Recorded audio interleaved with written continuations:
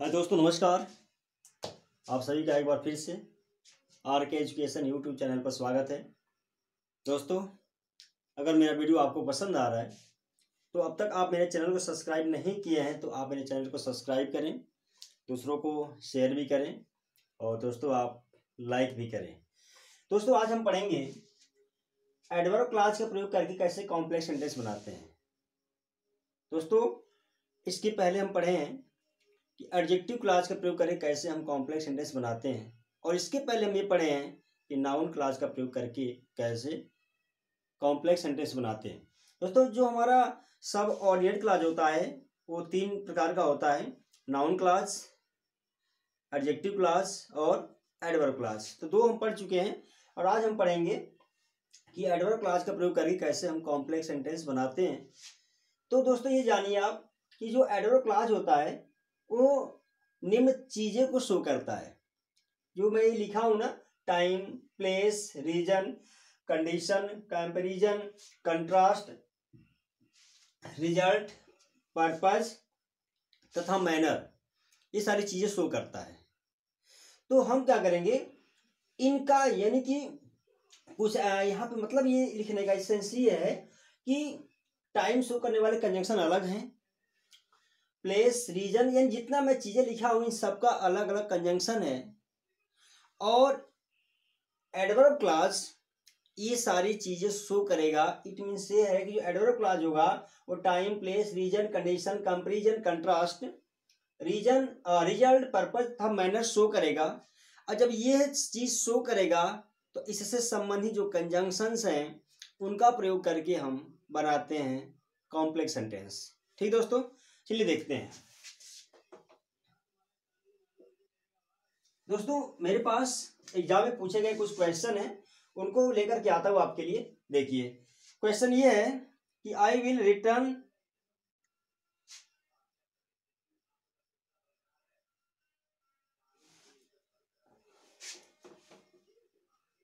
I will return मैं वापस आऊँगा। Do not go till then go till then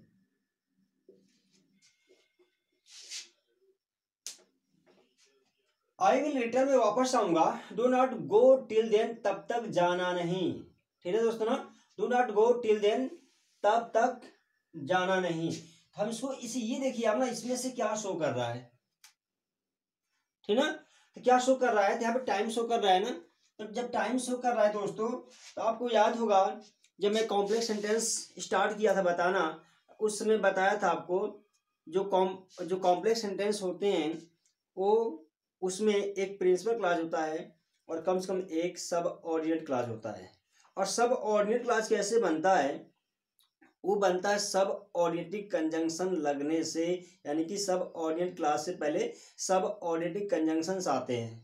और जो सब ऑर्डिनेटिक कंजंक्शंस क्या क्या होते हैं दोस्तों, मैं आपको बता चुका हूँ। आप प्लीज़ वाला वीडियो देखिए आप।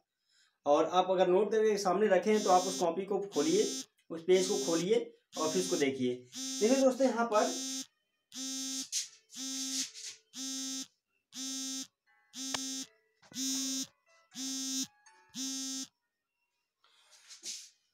यहाँ पर I will return do not go till then ये टाइम शो कर रहा है ना तो इसको हम ऐसे बनाएँगे।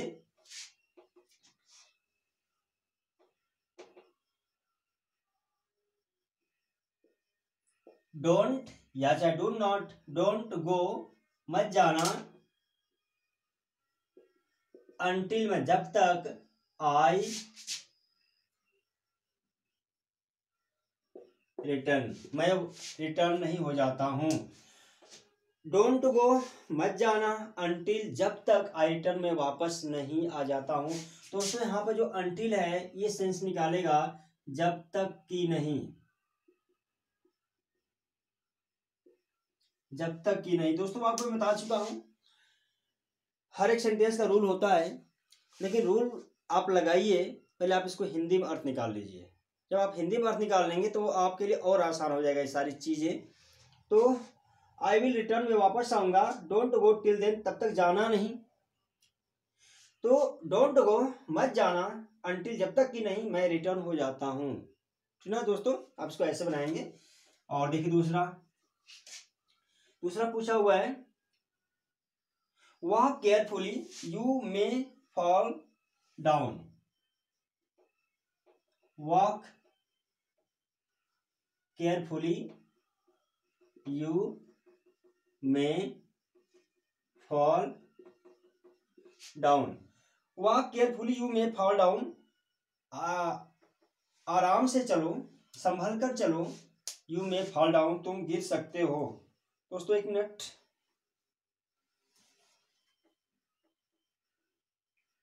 हम्म चल, ठीक है। आराम से चलो यू में फॉल डाउन तुम गिर सकते हो। दोस्तों, यहाँ पर देखिए क्या शो कर रहा है। ये शो कर रहा है आपका मैनर ठीक ना? मैनर शो कर ना? तो जब मैनर कहाँ है? मैनर यहाँ है। तो मैनर जब शो कर रहा है तो हम क्या करेंगे? मैनर के लिए जो कंजंक्शंस हैं, हम उसका इस्तेमाल करेंगे। ठीक ना? तो ये हो जाएगा वॉक केयरफुली संभल कर चलो। तो हो जाएगा वॉक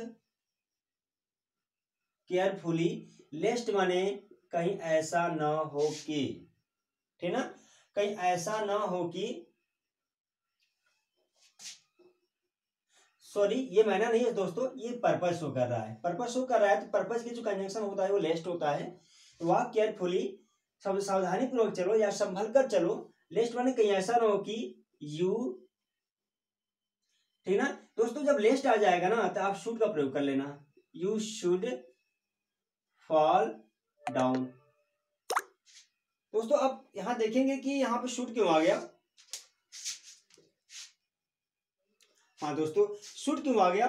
क्योंकि यहाँ पर जब कंजक्शन लेस्ट आ जाता है ना, उसके साथ हम वर्ब शुड का इस्तेमाल करते हैं। इसलिए हमने मैं हटा करके शूट लिख दिया। ठीक दोस्तों ना? चलिए और देखते हैं। तीसरा पूछा हुआ है। He lives at some place he lives at some place. Nobody lives there.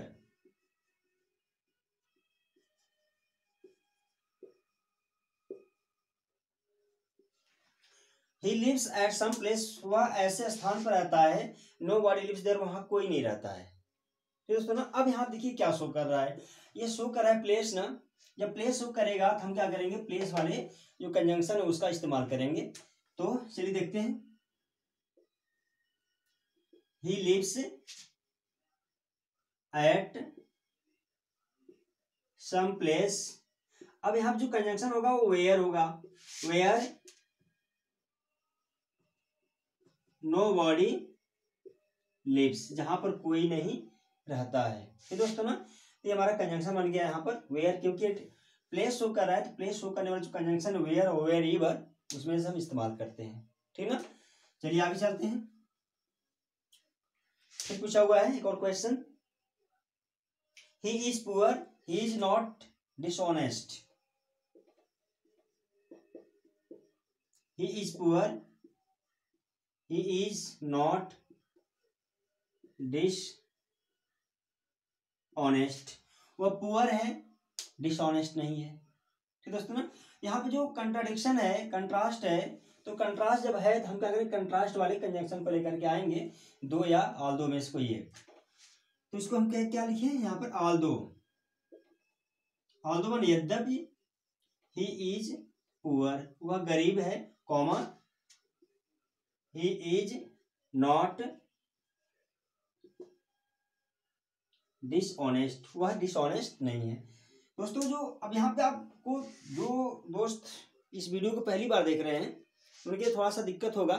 तो क्या करें, जितना मैं सिंथेसिस वीडियो बनाया हूँ स्पेशली कॉम्प्लेक्स सेंटेंस के लिए तो आप वहाँ पे जाइए। कॉम्प्लेक्स सेंटेंस को मैं जब स्टार्ट किया हूँ तो वहाँ पे कंजंक्शन के बारे में बताया हूँ।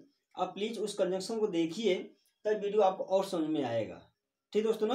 तो फ़िलहाल मैं आपके लिए बता दे रहा हूँ यहाँ पर कंट्रास्ट है तो कंट्रास्ट के लिए हम जो कंजंक्शन यूज़ करते हैं, दो आल दो ठीक ना? तो उसमें किसी का लिखेंगे हम आल दो मान यद्यप ही इज़ पुअर वो गरीब है, और he he is not dishonest वो बेईमान नहीं है, ठीक ना? और देखते हैं। Work hard then you will succeed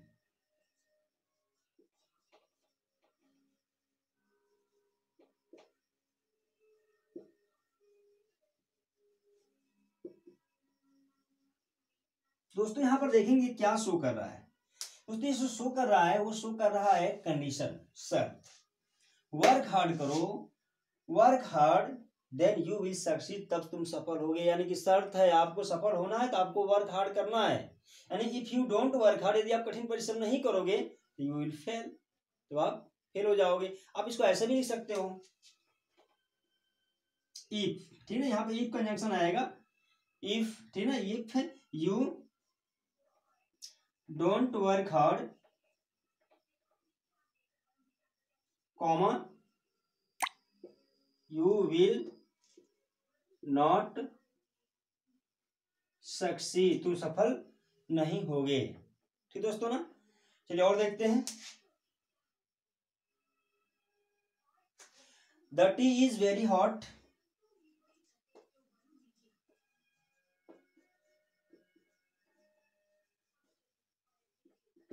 I cannot drink it.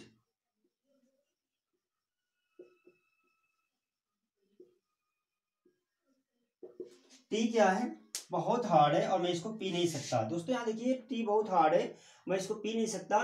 अब इसमें देखिए क्या है, क्या शो कर मैं मतलब मैं चाय नहीं पी सकता।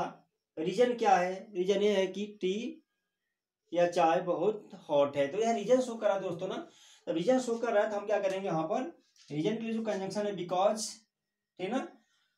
तो वो इस्तेमाल करेंगे हम। I can not drink tea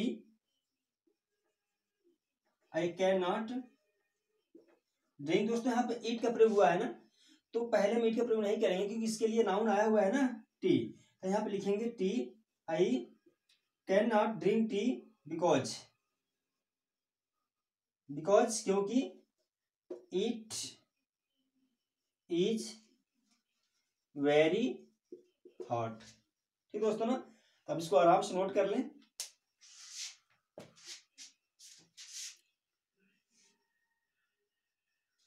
ठीक दोस्तों ना? आप इसे आराम से वीडियो पॉज करके आराम से इसको नोट कर लें आप। मेरे साथ आप बने रहिए। दोस्तों, मैं आपके लिए प्रयासरत हूँ। मेरा प्रयास यही है कि एग्ज़ाम तक आपको मैं मैक्सिमम नंबर इंग्लिश में कैसे आए, इसके लिए मैं काफ़ी प्रयास कर रहा हूँ ताकि आपका बोर्ड एग्ज़ाम बेहतर जाए। आप मैक्सिमम नंबर लेकर के आ पाओ। ठीक है दोस्तों ना? तो आप इसे नोट कर लें। कुछ और एग्ज़ाम्पल है हमारे पास, उसको भी हल करवा देते हैं।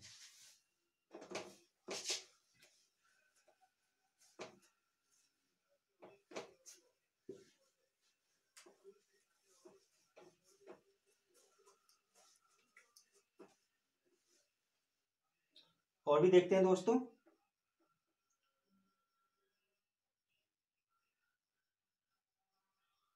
he waited for his brother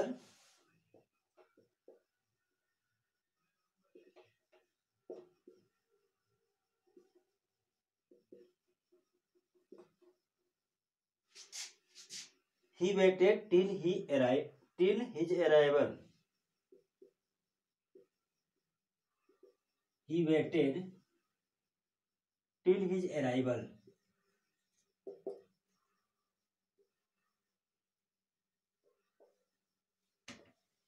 दोस्तों, हम इसको हिंदी में अर्थ निकाल लें आपसे मैं कह चुका हूँ कि यह बहुत आसान हो जाएगा।